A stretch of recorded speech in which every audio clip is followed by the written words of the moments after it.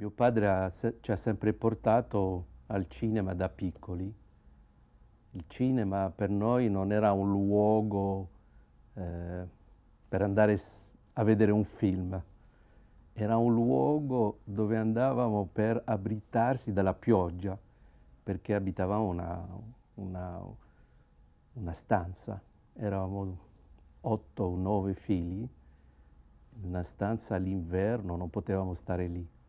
Fuori pioveva, eh, i giardini, eccetera. Dunque quando mio padre tornava dal lavoro andavamo in questo cinema che era vicino a casa e ci ha portato da bebè a vedere i film, ma vederli più per eh, stare lì a vedere immagini, anche per, per stare in un posto diverso e lasciare la nostra madre tranquilla a far preparare la cena, eccetera. E penso da bebè sono cresciuto con questi rumori di fondo di film americani, indiani, eh, italiani. Poi piano piano a una certa età eh, con altri amici ho cominciato ad andare da solo al cinema, nel senso vendevo una cosa e guadagnavo un po' di soldi per poter eh, vedere un film. ricordo più, forse più forte del primo impatto del cinema è stato penso quando ho visto Ladro di biciclette di Vittorio Zica, lì perché forse c'è l'identificazione del ragazzo, del bambino che ha questo padre che ruba questa, questa bicicletta.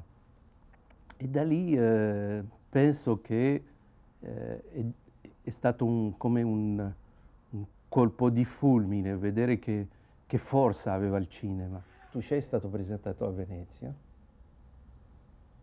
che ho sempre questo problema io, che all'inizio eh, i miei film sono sempre così mal compresi, mal eh, accettati all'inizio. E Tuscia mi ricordo era un film che perturbava, come Luz. Luz, mi ricordo, anche lui ha creato tante divisioni nella, nel, nel, non solo il pubblico ma la critica e poi passa un anno dopo, incontro quasi le stesse persone mi dicono ma scusami, non avevo capito all'epoca che cosa...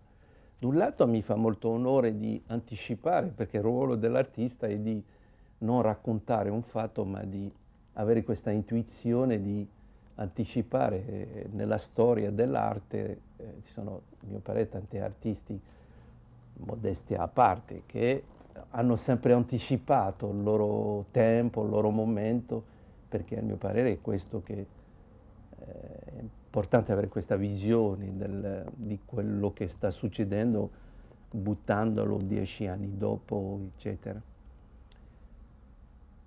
E dopo Tuscia ho fatto diciamo, il primo film italiano, no? italiano perché L'albero dei destini sospesi era un film eh, prodotto da Pier Giorgio Bellocchio e Marco che la RAI ha, ha voluto.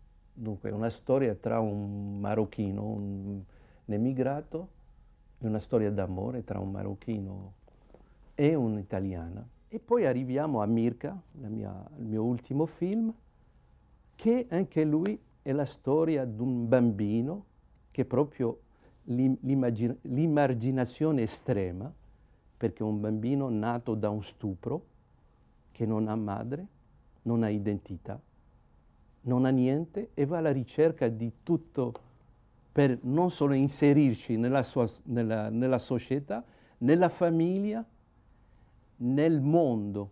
Dunque per me è stato anche proprio l'immaginazione estrema. È stato per noi una, una sfida di eh, raccontare di nuovo una storia di un emarginato, ma a un livello più grande.